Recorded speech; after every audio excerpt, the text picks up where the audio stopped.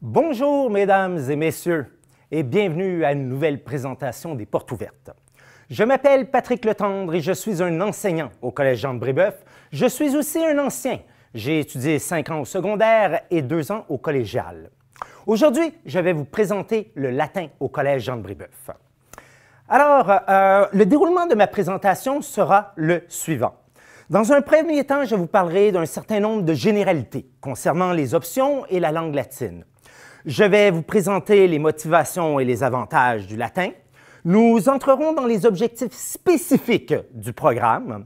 Je vous présenterai des exemples de travaux réalisés par les élèves et tout ceci se terminera par une courte session de questions et de commentaires. Je tiens à vous préciser que la réunion est enregistrée, si bien que vous pourrez l'écouter à nouveau. Alors, euh, je débute véritablement. La première chose qui m'intéresse, ça va être de dissiper un certain nombre de malentendus. Vous devez comprendre ici au Collège Jean de Brébeuf, nous avons, trois options de qualité. Une option sport et monde, une option espagnol et monde et une option latin et monde. Très important, Indépendamment de l'option, les élèves suivent le cursus Brébeuf. Qu'est-ce que ça veut dire? Les matières de base sont communes. Euh, c'est un enseignement qui enrichit dans tous les cours. Mais il y a une nouveauté l'année prochaine, les groupes seront décloisonnés. Ce que ça veut dire, c'est que dans une même classe, il y aura des élèves de sport, d'espagnol et de latin. Et les élèves, en fait, c'est ça la différence, sortiront de leur classe pour aller suivre un cours d'option. La grande différence, donc, en première secondaire, on parle de deux périodes par semaine. En deuxième et quatrième secondaire, ce sont trois périodes par semaine. Et en troisième secondaire, quatre périodes par semaine, quatre périodes d'espagnol ou de latin, mais deux périodes de sport ainsi qu'une autre matière. Extrêmement important, tous les élèves indépendamment de l'option, ont accès au sport élite. À partir de maintenant, je ne vous parlerai que du latin. Or, quand je dis le collège offre le latin, il arrive qu'on me réponde Quoi? Vous offrez encore le latin C'est une langue morte, ça ne sert à rien, et en plus, ça n'intéresse plus personne. Permettez-moi de revenir sur certaines de ces affirmations en commençant par le latin, une langue morte. Certes, je pourrais soutenir, le latin n'est pas une langue morte. Le latin survit encore aujourd'hui en tant que langue savante, par exemple en droit, en médecine. Mais en fait, ça va bien au-delà. C'est d'ailleurs la raison pour laquelle plusieurs maisons d'édition ont décidé de se lancer dans la traduction d'œuvres populaires modernes en langue latine. On peut penser au Harry Potter, au Hobbit, à un grand nombre de bandes dessinées. Snoopy est un exemple, mais il y en a beaucoup plus.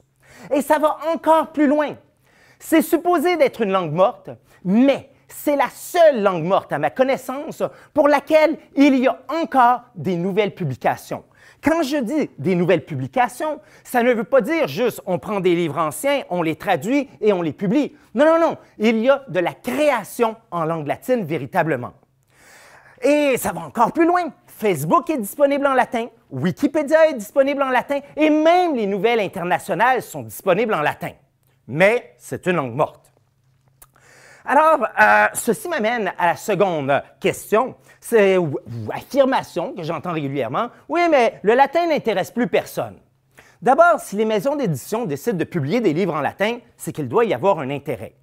Mais surtout, cette affirmation repose sur un constat. Au Québec, j'en conviens, le latin a pratiquement disparu des écoles secondaires. Mais sur ce point, le Québec est à contre-courant de ce qui se fait encore dans un grand nombre de pays. La réalité, c'est qu'à chaque année, il y a des millions de jeunes qui étudient la langue latine. Certains pays avaient retiré le latin et ont recommencé à enseigner le latin. Et pourquoi? C'est parce que les gens voient un certain nombre de motivations et d'avantages à l'apprentissage du latin.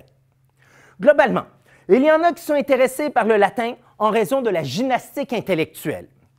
D'autres, en fait, euh, apprécient l'enrichissement linguistique et culturel. D'autres aussi aiment le lien qu'il y a. Le latin se trouve entre la tradition et la modernité.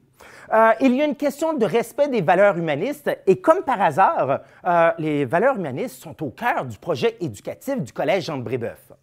Mais ce n'est pas parce qu'on respecte la tradition et on est attaché à la tradition qu'on doit rester figé dans le passé. En fait, les cours de latin actuels, et notamment le cours de latin au Collège Jean de Brébeuf, on a décidé de se distancer du cours classique. L'objectif n'est pas de former des latinistes, c'est-à-dire des gens capables de lire le latin aussi vite que le français. L'objectif est plutôt un appui à l'ensemble des autres matières. Une autre motivation, il a été prouvé qu'il y a des bénéfices sur le long terme à apprendre le latin. Maintenant, rentrons dans les objectifs plus spécifiques, en commençant par les objectifs linguistiques et plus précisément l'enrichissement du français. L'enrichissement du français se fait de trois façons différentes. D'abord, le latin est une langue. On fait de la grammaire latine. Mais à chaque fois qu'on fait de la grammaire latine, on fait également de la grammaire française, si bien que ça aide le français. Le latin, on ne le parle pas. Le parler actuellement, ça ne sert plus à grand-chose. On le lit, on le traduit. Et donc, les élèves sont initiés à des techniques de traduction, alors que dans les autres cours de langue, on fait plus d'une langue orale. Sinon, dans le cadre d'un cours de latin, on fait de l'étymologie. L'étymologie, c'est-à-dire l'étude de l'origine des mots. il y a 36 000 mots en français qui viennent du latin. Euh, la majorité des gens ne connaissent pas 36 000 mots. Le principe de base, c'est qu'après quatre ans de latin, un élève peut lire un texte en français. Il rencontre un mot qu'il n'a jamais vu dans sa vie, mais là, en ayant fait du latin, il est capable de déduire quel est le sens de ce mot-là dans son texte en français. Mais le français n'est pas la seule matière qui profite en fait du latin. C'est un médium de premier plan pour faciliter l'apprentissage de plusieurs autres langues modernes. On peut penser bien sûr aux langues latines, l'espagnol, l'italien, le portugais, le roumain. Ces langues-là viennent du latin et en fait, il a été prouvé que quand on fait du latin, on apprend ces langues-là beaucoup plus rapidement par la suite. L'anglais. L'anglais ne vient pas du latin. Sauf que 50% du vocabulaire anglais, essentiellement les mots enrichis, viennent directement ou indirectement de la langue latine. Et conséquemment, quand on a un texte plus avancé en anglais, il y a des mots qu'on ne, ne comprend pas, mais grâce à l'étymologie, on est capable de décoder leur sens. Même des langues plus éloignées, comme l'allemand ou le russe, ces langues-là ne viennent pas du latin, mais elles ont un système grammatical apparenté à la langue latine, si bien que c'est beaucoup plus facile de les apprendre par la suite. Passons à la seconde série d'objectifs, des objectifs d'ordre intellectuel, en commençant par le développement d'un esprit logique. Bien souvent, les gens l'ignorent, mais la matière la plus proche du latin, ce n'est pas le français, ce sont les mathématiques. Et il a été prouvé, il a été prouvé qu'en faisant du latin, on pousse les mathématiques vers le haut parce que les mathématiques, c'est une langue très logique. À côté de ça, il y a le développement d'un esprit scientifique. Je vous ai dit, on ne parle pas le latin. On le lit ou plutôt on le traduit. Or, certaines des phrases ont une structure assez alambiquée, assez complexe. Et donc, pour réussir à comprendre ce qu'il y a derrière la phrase, il faut procéder, il faut utiliser une méthode d'analyse grammaticale. Et étonnamment, cette méthode d'analyse grammaticale est assez semblable à celle qui se fait en science. Observation, interrogation, hypothèse, expérimentation, conclusion. Et tout ceci ne peut se faire que par le développement d'une rigoureuse méthode de travail. Là, quand on apprend une langue au secondaire, indépendamment de la langue, supposons que j'apprenais de l'allemand au secondaire. Si on arrête de faire cette langue-là après un quatre ans, bien souvent, on a tendance à l'oublier. Mais une chose qui va rester toute notre vie, c'est développer une rigoureuse méthode de travail. Troisième série d'objectifs recherchés par le cours de latin, ce sont des objectifs culturels. Plus précisément, l'acquisition d'une solide culture générale. Le latin est une langue, une langue parlée par un peuple qui s'appelait les Romains. Eh bien, quand on apprend une langue, c'est pas tout d'apprendre la langue. Il faut apprendre le contexte dans lequel a évolué cette langue-là. Et donc, pour cette raison-là, on touche à toutes sortes d'éléments qui concernent les Romains. On va faire de la géographie du bassin méditerranéen, de l'histoire. Bien sûr, l'histoire du monde romain, c'est eux qui parlaient le latin. Mais les Romains, euh, c'était un immense empire. Ils sont entrés en contact avec plusieurs autres civilisations antiques. Donc, on touche également à la civilisation grecque, à la civilisation étrusque, on touche à la civilisation punique. On fait de la mythologie. mythologie romaine, mais mythologie gréco-romaine même.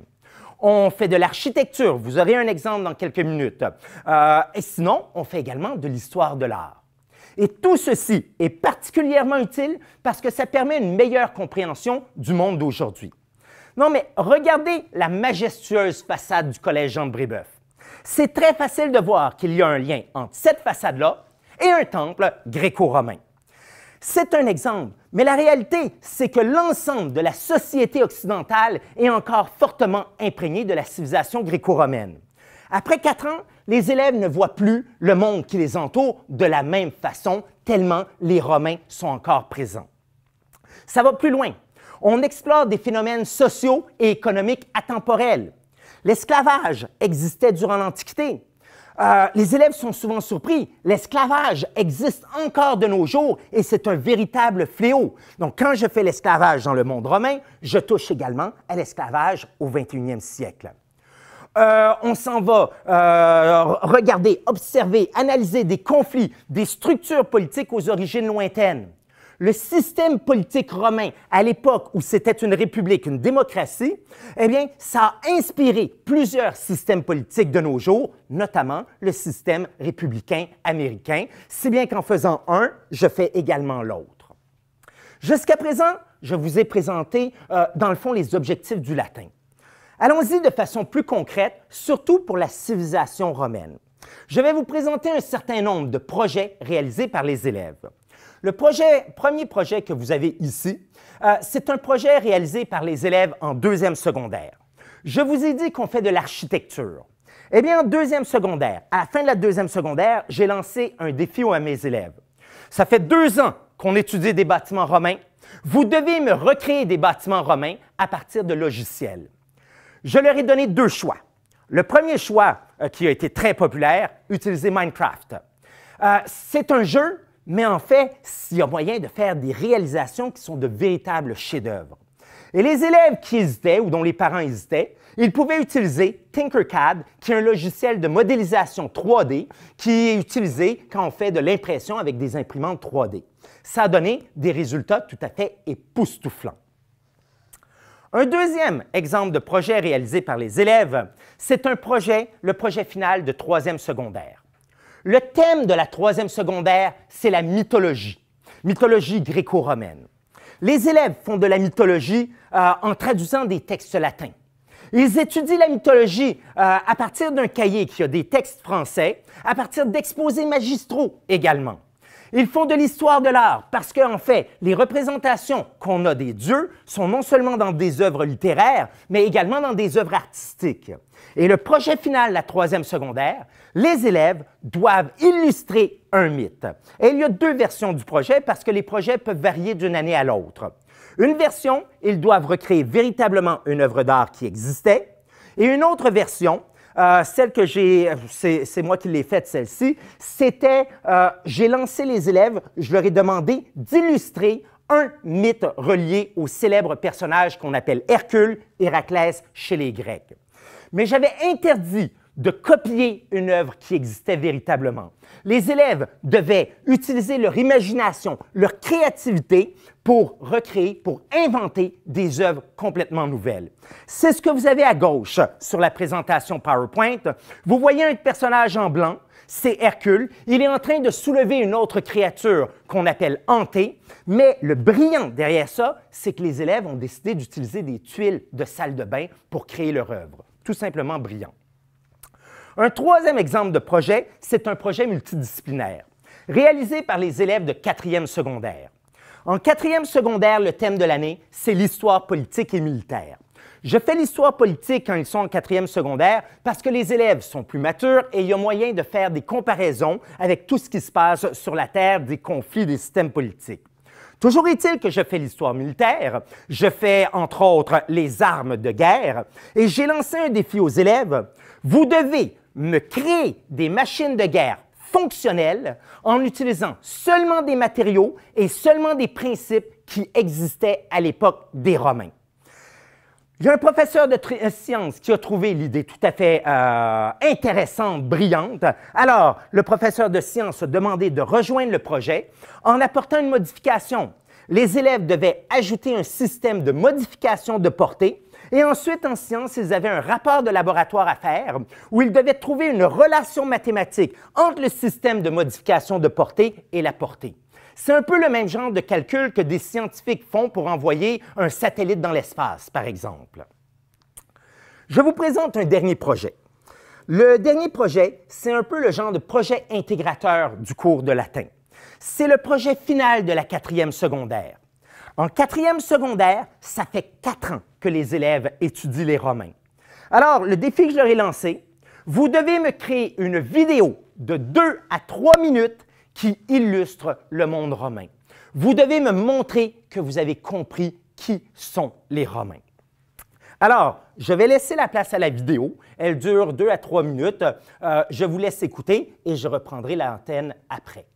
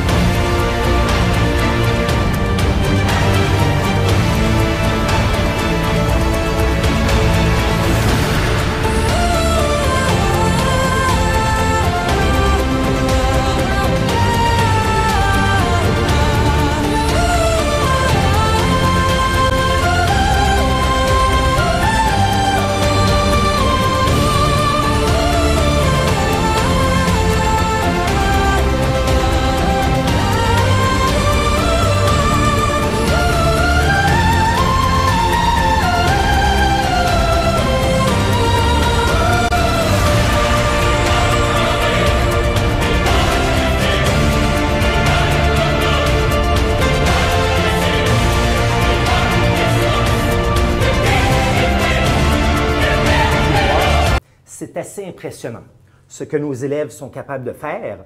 Et l'autre élément derrière ça, euh, c'est le latin. On traite d'un sujet qui est ancien, mais on utilise quand même des nouvelles technologies. Donc, quand je disais tradition et modernité, ça va ensemble. Je présente maintenant un aspect, encore un autre aspect qui est en quatrième secondaire. Je vous ai mentionné, ça fait quatre ans que les élèves font du latin. Eh bien, en quatrième secondaire, on offre aux, latins, euh, aux élèves la possibilité d'aller en Italie euh, pour voir tout ce qu'ils ont étudié en l'espace de quatre ans. Permettez-moi de vous dire qu'en général, non, toujours, les guides touristiques sont renversés par nos élèves. Renversés par le bagage de connaissances, les guides, à chaque voyage, m'ont dit on n'a jamais vu ça, on doit pousser nos explications plus loin, euh, plus loin que n'importe quel groupe d'élèves et d'adultes, tellement les élèves sont intéressés par cette matière. Au final, qui pourrait être intéressé par l'option latin et monde? Eh bien, nous cherchons des élèves, c'est interdit aux parents, des élèves motivés, des élèves curieux, des élèves qui souhaitent parfaire leurs connaissances linguistiques, des élèves qui apprécient les situations qui requièrent un raisonnement logique, des élèves qui sont intéressés par le présent et le passé, des élèves qui sont avides de comprendre le monde d'aujourd'hui, des élèves qui sont désireux de s'investir dans des projets qui sollicitent ingéniosité et créativité. Car au final, l'option latin et monde vise à enrichir les esprits via le prisme gréco-romain. Maintenant, euh, je prendrai les questions s'il y a des questions et il me fera un plaisir de répondre à ces questions. Monsieur Le Tendre, on me demande si le nom scientifique des animaux provenait de la langue latine. Absolument. Le nom scientifique des animaux provient de la langue latine. En fait, je vous ai dit, le latin est omniprésent encore de nos jours. C'est-à-dire, si vous allez au biodôme, si vous allez au jardin, euh, euh, euh, botanique, vous allez à l'insectarium, les noms des animaux, des insectes, des plantes sont écrits en général dans trois langues. En français, en anglais, mais la première langue au-dessus, c'est le latin.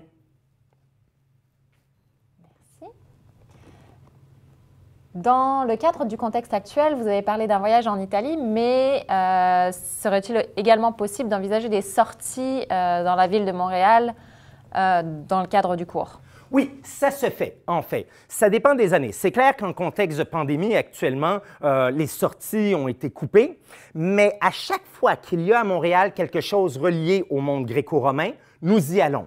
Euh, il y a eu des expositions sur Pompéi. Nous sommes allés les voir. Il y a eu des expositions sur Alexandre le Grand, sur l'Égypte ancienne. Nous sommes allés les voir parce que tout ce monde-là, c'est le monde méditerranéen, c'est à, côté des Romains, donc je considère que ça fait partie intégrante de mon cours. Si à Montréal, il y a une pièce de théâtre sur un thème qui touche aux Grecs ou aux Romains, euh, il y a eu une pièce de théâtre euh, il y a 3-4 ans sur Caligula, on a amené les élèves à cet endroit-là parce qu'on considère que c'est fondamental l'enrichissement culturel. On se demande si on a besoin d'avoir des bases dans la langue latine pour intégrer votre programme. Non. En fait, c'est ça qui est intéressant. C'est probablement la matière la plus égalitaire qui existe au secondaire, parce que c'est la seule et unique matière où tous les élèves arrivent exactement au même niveau. Nul élève n'a fait de latin. Des fois, par exemple, euh, du français, il y en a qui ont plus de français, qui, parlent le français à la maison, euh, euh, qui lisent plus, même chose les mathématiques, mais le latin, tous sont au même niveau. Parfait. Est-ce que cela requiert un examen d'entrée spécial? C'est le même examen que pour tous les autres élèves. Euh, parce que d'abord, les élèves, les gens viennent à Brébeuf pour Brébeuf, pour le cursus Brébeuf, et ensuite, ils choisissent une option ou l'autre. Écoutez, on a, beaucoup de félicitations sur la qualité de votre présentation. Merci. Euh, pour, citer la meilleure présentation que j'ai jamais vue, bravo. Merci. Euh, absolument, j'adore absolument la présentation. Est-ce que c'est vous qui allez enseigner en secondaire 1? Euh, ben, en général, c'est moi en secondaire 1. C'est clair que actuellement, je suis le principal professeur de latin. Au collège, disons, il y a quatre années de latin. Le plus souvent, j'enseigne trois des quatre années de latin. Euh, généralement, j'enseigne en secondaire 1, secondaire 2 et secondaire 4, mais compte tenu des changements dans les options qui s'opèrent à partir de l'année prochaine et du changement du nombre d'heures, on ne sait pas encore c'est quoi la répartition. Mais normalement, les élèves ont trois années sur quatre. Parfait. Pourriez-vous nous repréciser le nombre d'heures euh, de cours de latin il y a par euh, niveau? Oui, l'année prochaine, ça va être deux heures, ben, deux heures, deux périodes de 45 minutes en première secondaire. En deuxième secondaire, ça va être trois périodes de 45 minutes. Troisième secondaire, quatre périodes, ça tombe bien, c'est l'année sur la mythologie. Et en quatrième secondaire, trois périodes de 45 minutes par semaine. Merci beaucoup. On n'a pas d'autres questions pour l'instant. On peut attendre quelques minutes si on voit d'autres questions euh, rentrer. Je suis disponible. N'hésitez pas, ne soyez pas timide. Voilà, on a une autre question qui arrive. Enseignez-vous le latin du côté des filles également? Oui, j'enseigne le latin des deux côtés, garçons et filles. Justement, cette année, j'ai euh, filles, garçons secondaires 1, 2 et 4. Bien sûr, il peut y avoir des légères modifications des fois, mais comme j'ai dit, d'habitude, j'enseigne trois années sur quatre. Merci. On n'a pas d'autres questions pour l'instant.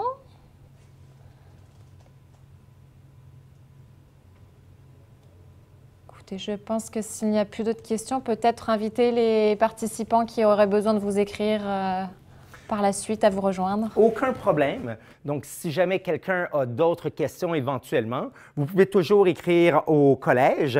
Et si c'est des questions concernant le latin, c'est clair que c'est toujours vers moi que sont transférées les questions. Euh, je suis le spécialiste du latin au collège, juste pour dire, euh, tout le matériel des élèves, les cahiers de secondaire 1 à 4, c'est moi qui les écris aussi.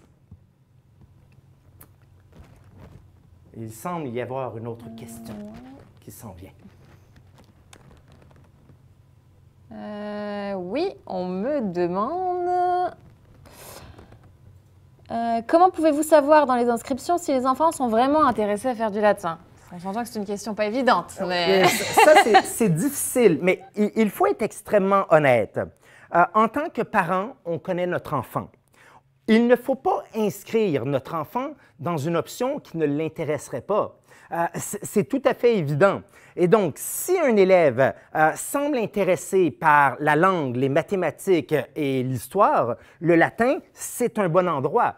Si un élève, un enfant par exemple, n'aime ni les mathématiques ni l'histoire, c'est peut-être pas la bonne option. Mais là, c'est aux parents véritablement, euh, ils doivent connaître leur enfant et choisir avec eux autres euh, quelle option est la meilleure pour eux autres.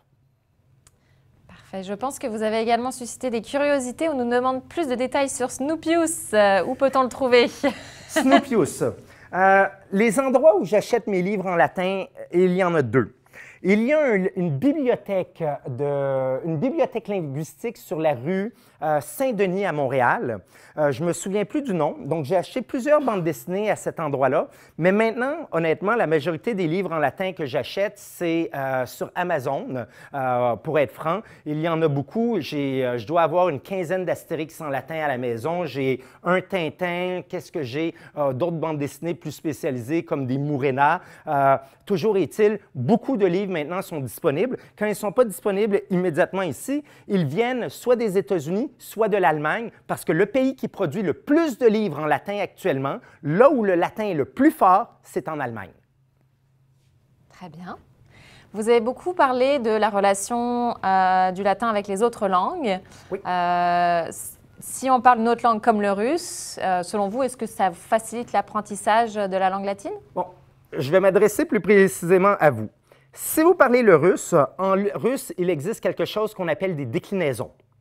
Il y a des déclinaisons en latin. C'est clair que les déclinaisons sont complètement différentes entre le latin et le russe, mais le principe est le même, euh, le principe des cas et des changements de terminaison, si bien que déjà ça peut aider parce qu'on comprend ce principe grammatical-là.